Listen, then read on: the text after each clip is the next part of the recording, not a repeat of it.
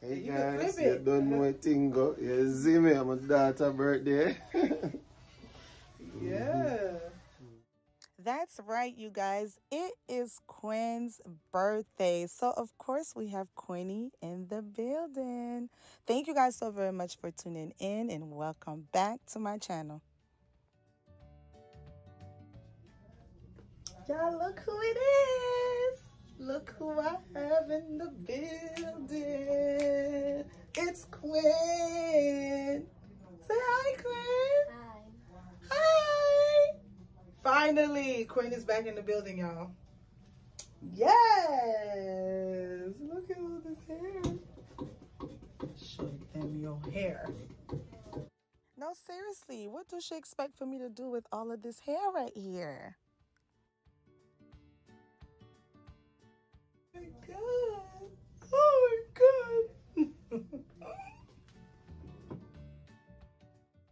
So yes, Miss Quinny is the birthday girl. And you guys, for Quinn today, we are going to give her 10 feed-in ponytail okay? It's 10 feed-in braids going into a ponytail and of course it is her birthday so i'm gonna do a little extraness for her okay?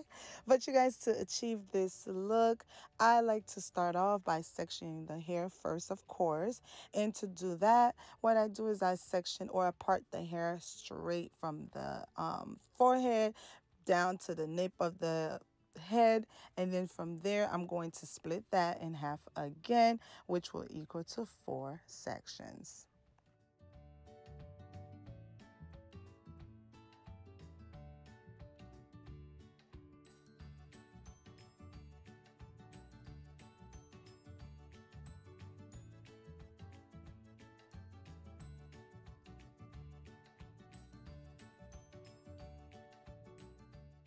So boom, that's our fourth section right here. And once you have achieved this part, you guys, I like to take a little piece from each section and that's going to be a knotless braid. I like to have at least one to two knotless braids depending on how big the head or the amount of hair one may have. And um what that does is is keeps tension away from the head from the middle of the head and of course if you suffer from headaches or even if you don't suffer from migraines it is always best to do something in the middle to keep all those braids from pulling directly center of your head. So always be sure you guys to have one to two some people could even do four but for it to get down that far, you need like a lot, a lot, a lot of hair. And of course, it depends on the size of the feed-in braids as well. And then in um, Quinn's case, we're doing just one knotless box braid.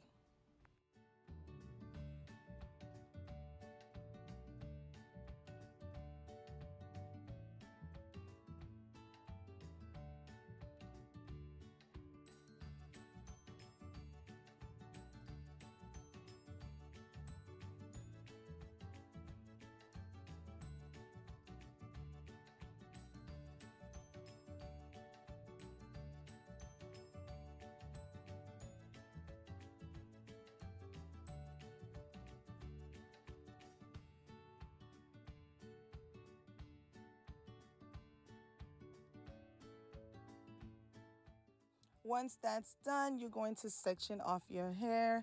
Normally, I would section off the whole head, but today we're just going to section off five pieces for that side first. And once I get that done, then I'll move on to the other side. But always be sure, you guys, to section your hair off before you start your braiding process, especially if you're new at braiding. It just makes everything so much easier. And of course, proportion control, okay? We always have to make sure our braids are super nice and neat and crisp.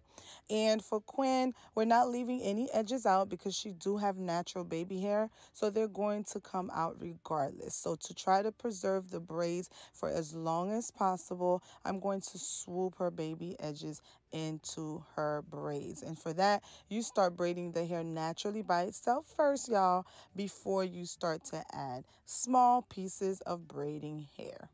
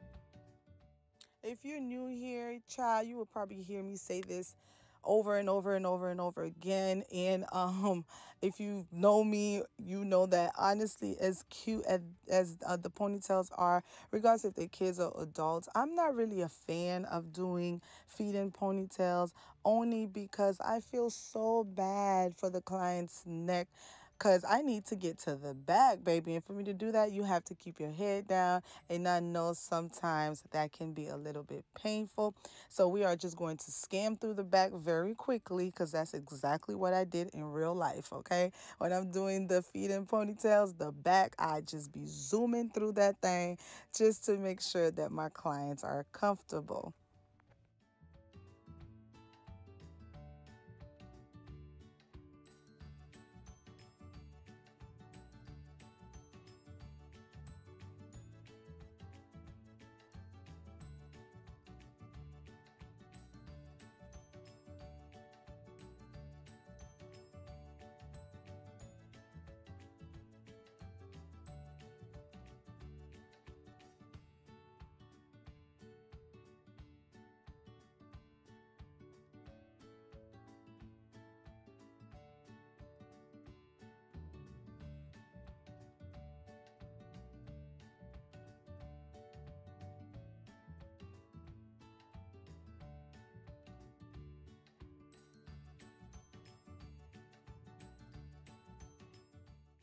Now for the other side of her head, like I mentioned before, you guys, I'm sectioning off the hair before I begin the braiding process. And it is a total of 10 feed-in braids. So I'm going to make sure I split that side to equal to five feed-in braids since I already completed five on the other side.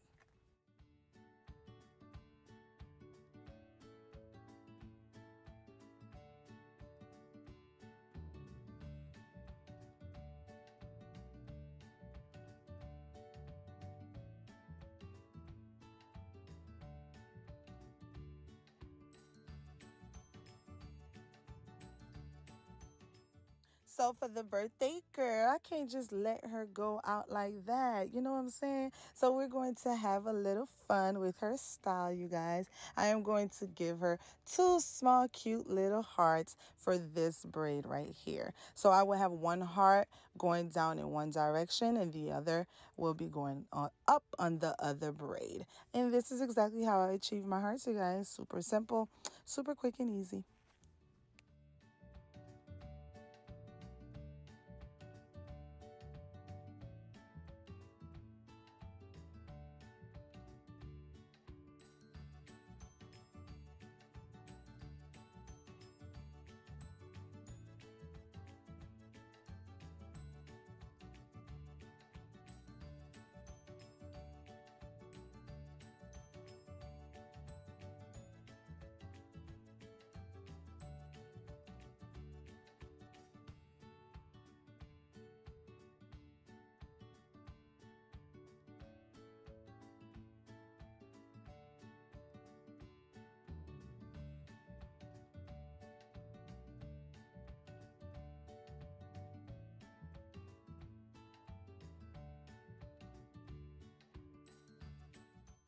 And of course, once again, I want her style to last her as long as possible. So for the heart, I am doing the braiding method. I'm not using any rubber bands. I don't want no extra flyaways out for her to deal with. So it is going to be braided. And if you miss this heart step by step, it is okay, you guys, because I am going to do one more for the other braid. So pay attention.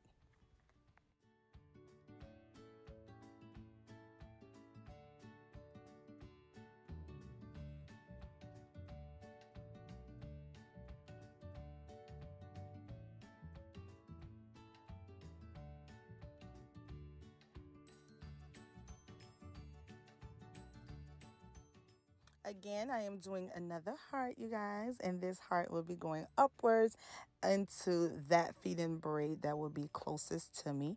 Okay, so yeah, you guys, this is exactly how I achieve my small, cute little hearts.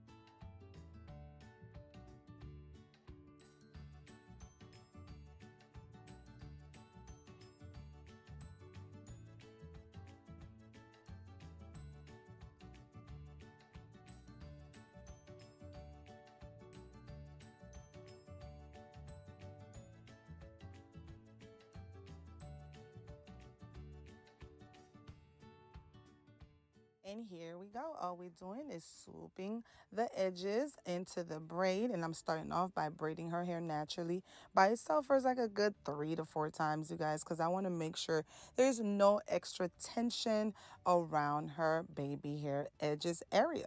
And from there, you guys, I'm just going to start to add small pieces of braiding hair. And of course, I'm using the stitch method, y'all.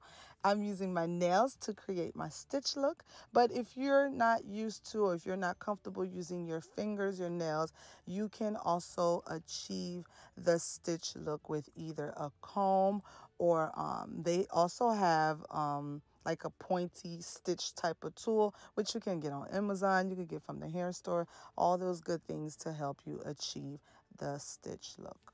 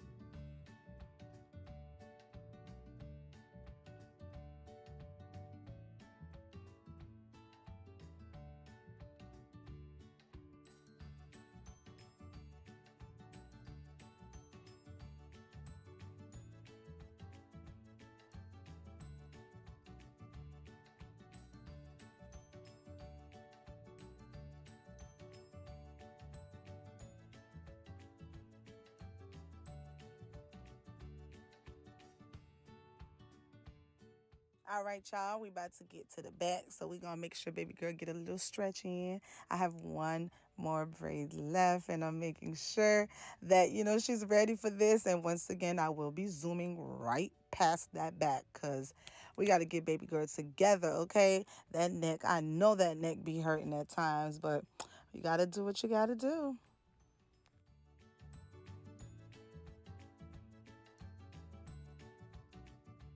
I know y'all see this coming all together. Look at it. Look at it. And look how beautiful Quinn is. She's so pretty. Yes, thumbs up. Come on, girl. If you're feeling your hair, just let me know, okay? Period. Period, period, period, period, period.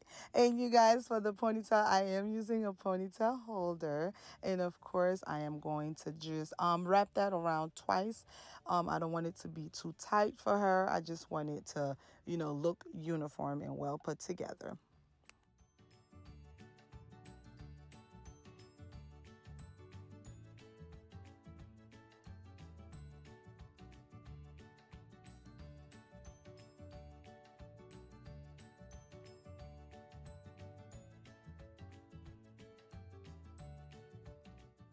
So for a Quinny, we are also going to curl the ends, you guys. I am using curling rods.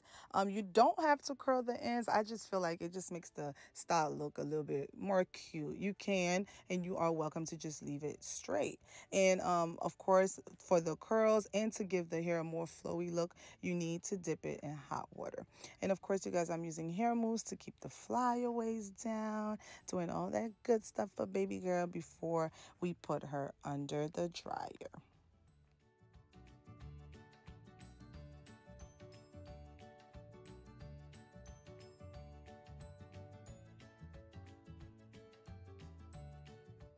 I think she's really starting to feel her hair for real. Like, girl, I didn't even give you a mirror to look at it yet. So you guys, we're tying down her edges and then we're going to have her sit under the dryer for a good five minutes. Birthday girl. I know I have to hook her up for her birthday. We're done, but I'm just adding some stuff yeah. to her hair. Mm-hmm. Yeah, we have Mr. Carter in the building. Okay. Chrissy dropped her off and Krishane is here to pick her up. And of course he's excited. I heard. Yeah. Guys, it's a birthday girl. This is her birthday look. So y'all will see more of it. Hey you guys, you don't know a thing go. You see me, I'm a daughter birthday. yeah. How exciting. Okay, everybody's excited. It's Quinn's birthday. She's beautiful. She's excited. She's ready. And I'm so excited too. Yay. Happy birthday, Quinn. Pretty girl. Y'all be sure to tell Quinn happy birthday. Let me know if it's too tight, okay, Quinn? That's right, y'all. always ask everybody to let me know if the hair is too tight. And remember that knotless braid that was in the middle? I always use that to wrap around, only because I know I can control if it's going to be too tight or not. Keep that in mind, you guys. All right, you want to see it? All right. Let me show it to you. Girl, I'm excited for you, girl. Oh. You see a little heart? Mm -hmm. That's your birthday hearts right there. Mm -hmm. Period. Mm -hmm. You like it? You like it? It's cute, right? All right, let me finish recording. I want to take out this Hold on, let me finish recording. Huh? You gonna do what? So she don't want to take, it out. out. You're not gonna take it out? you just gonna leave it like that? Yeah. Okay. Y'all look at Quinn just whipping out her phone to record herself. Girl, what is going on? I know that's right. Y'all, this is the final, final look, you guys. I'm super excited for her. Her hair is nice, it's clean, it's cute. She's definitely ready to celebrate her birthday, okay? You guys, thank you all so very much for tuning in and spending this time with us. Thank y'all for watching. Please don't forget to like, subscribe, and hit that bell button. Until next time. Peace and love. Happy birthday, Quinn. Love you, baby.